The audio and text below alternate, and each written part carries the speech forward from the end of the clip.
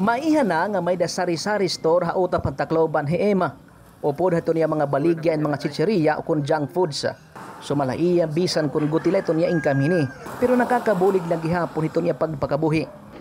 May edagad pero kalagod tila. Piso la kada usa ka unang pa. Arena.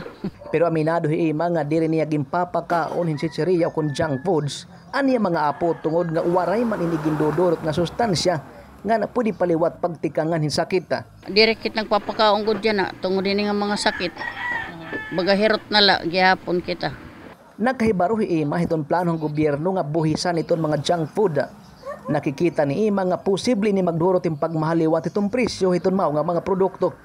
Butang nga sigurado makakaapekto ang mga may da sari-sari store sugad haiya. Kay di nang ani makaya di nakiton magtipinan ninda mag-increase. Kay pero letot ganan siya. Amo pay nalalugod ito. Kay Kay ba makakakuan man na dating sakit. Hasinado usa nga balaod nun itong gindodo so para buhisan itong mga chicheria agud nga magkaadahin duga nga pundo ang gobyerno.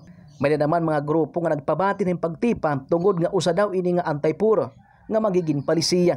Hapag ka na, kalakip itong gingkikita o kung giniistudyohan kung ano nga klase lah itong mga chicheria o kung junk foods ang bubuhisan na.